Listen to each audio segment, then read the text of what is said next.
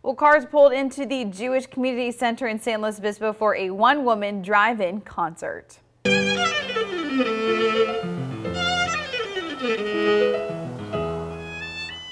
That was Bryn Albanese, a violinist from Cambria who's been performing on the Central Coast for 15 years.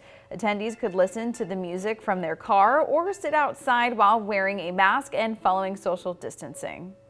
Being able to offer this and, you know, like I've said before, during such challenging times and being able to, um, you know, create that sense of unity and community is something that is truly special. And we're happy at the JCC Federation to be able to offer something like that.